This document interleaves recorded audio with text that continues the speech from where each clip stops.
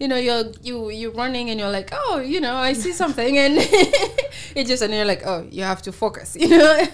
Oh but it's just like just thinking you're like okay what am i going to get out of this? You know all those things. You're like picturing yourself where you'll be at the end and picturing all the things and you're thinking about all your training and all that stuff. It's yeah. It, it's just so much so many things going on through your mind but you just have to like make sure you're bringing in you know the con like the, the the the focus the thoughts of like positive thoughts because it's marathon as you said it's like there's a lot of things going in your own in your mind and your body as well because sometimes you feel good sometimes you're feeling uh-oh you know Uh oh, is Yeah. how I mostly feel.